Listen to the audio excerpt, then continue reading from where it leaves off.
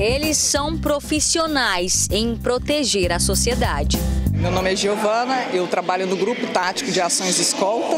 Sou guarda civil metropolitano há 16 anos. Eu sou capitã PM Márcia Elizabeth, trabalho, sou subcomandante atualmente do Batalhão Maria da Penha. E por trás da farda também são pais, mães, filhos. Eu sou uma Giovana que cuida dos pais, sou uma excelente madrinha, sou professora. Eu sou Valdemir, esposo da Ciele, né, minha esposa, a qual nós temos duas filhas, né, uma de 21 anos e uma de 12, de 12 anos, né, pai. Então, sou marido, aquele companheiro né, do dia a dia da minha família. Eu sou mãe, sou esposa, sou filha, sou nora, cunhada, tia. Esses heróis da vida real vestiram a farda, dessa vez não para o trabalho difícil das ruas, e sim para serem homenageados e abençoados pelas orações de centenas de membros da Igreja Universal. Nós abençoamos as autoridades que estão aqui no altar. Muitos são pais, mães, avós, maridos, mulheres, esposos, esposas seres humanos como nós, meu Pai. Agentes de todas as corporações em âmbito federal, estadual e municipal fizeram na manhã desse domingo uma pausa para respirar e receber a homenagem valorativa aos profissionais de segurança. A iniciativa é do Programa Social Universal nas Forças Policiais, a UFP, e faz alusão ao Dia do Soldado, celebrado em 25 de agosto. Devido ao estresse do dia a dia, não é fácil a pessoa estar bem espiritualmente, emocionalmente também. E quando eles chegam aqui, ele é um alívio para os militares, porque a paz invade o ser deles, olha a presença de Deus e a palavra que edifica, que abençoa e também transforma vidas. Foi um momento para ressaltar quem abdica e se sacrifica pelo próximo.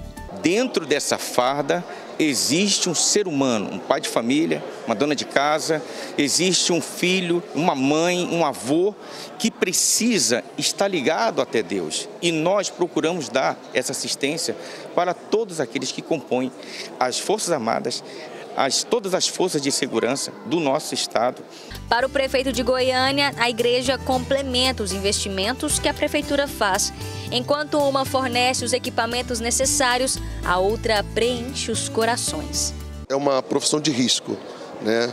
Uh, temos aqui homens e mulheres, por exemplo, que prestam serviços nas ruas das cidades. É, eles sabem que sai de casa, não sabe a hora que volta ou se volta. Então, eles precisam, na verdade, de uma proteção. Né? E nada mais, nada menos do que termos a proteção divina para que nós possamos ter a segurança também de Deus e darmos segurança à cidade e à população. Mais de 600 agentes da segurança participaram da homenagem. Polícia Penal. Isso faz com que o policial penal também se aproxime mais de Deus e entenda qual é o trabalho da Igreja Universal dentro dos presídios e também dentro da vida de cada um de nós. Força Aérea Brasileira é um momento muito importante para nós das Forças Armadas, das Forças Auxiliares, e foi um momento bastante gratificante poder participar disso. Eu agradeço o convite em nome do, do meu comandante, em nome de toda a Força Aérea. Foi um momento bastante especial para nós. Exército. O evento foi numa data muito significativa para o Exército, 25 de agosto comemoramos o Dia do Soldado. Né, o nosso patrono Duque de Caxias, né, como pacificador. E numa profissão tão nobre como é servir a pátria, né? nada mais importante do que equilíbrio entre o corpo, a mente e o espírito. Né? Polícia Militar. É um momento de, de parceria, né? é um momento de estarmos reunidos é, junto a Deus, é, pedindo também para que nos proteja nas ocorrências, nas ações, nas operações e agradecer por tudo que foi conquistado. Polícia Civil nos sentimos mais motivados, mais apoiados, mais respaldados pela população, pela comunidade, pela igreja. Isso nos fortalece muito no nosso dia a dia. Guarda Civil Metropolitana. Ter a população do nosso lado, ter a igreja como acolhimento, ter a igreja ali levando uma palavra de carinho, de afeto, nos faz ter mais ânimo né, e trabalhar cada dia mais com maior nitidez, com maior fluidez para levar segurança a toda a população. Corpo de Bombeiros Militar. O ser humano é um ser triuno, né? físico ali, psicológico, social, então tem que ter essa parte religiosa e a UFP, a Universal, tem feito um trabalho belíssimo conosco. A homenagem valorativa foi realizada simultaneamente em todos os estados brasileiros e no Distrito Federal. Essa é a quinta edição do evento que já entrou para o calendário da Universal e esse papel espiritual da igreja tem transformado a vida de muita gente. A própria história do bispo Álvaro mudou de direção quando encontrou a Universal. Num testemunho emocionante, ele falou sobre quem ele já foi um dia.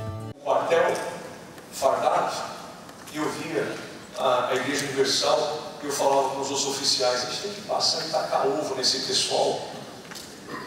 Esse pessoal que rouba as pessoas. Olha só, pessoal. Olha onde eu vim parar. Vivências que mostram o poder de Deus. Os policiais Daniela e Naércio também compartilharam a experiência de cura e libertação. Hoje nós vivemos um casamento que eu não sabia que era possível. É uma lua de mel que a gente vive que eu nunca vivi na vida. É algo totalmente diferente. Os nossos filhos, a nossa comunhão em nossa casa é algo diferente. Várias histórias inspiradoras e palavras de fé que fizeram a diferença na bagagem de cada profissional. Sai renovado e sai com a fé é, recomposta, né, para que a gente enfrente os desafios que virão pela frente. Eu saio bastante feliz, né? A gente sai em paz, na certeza de que Deus nos acompanhará sempre. Estou saindo renovada, feliz, lisonjeada de estar aqui e sendo principalmente valorizada.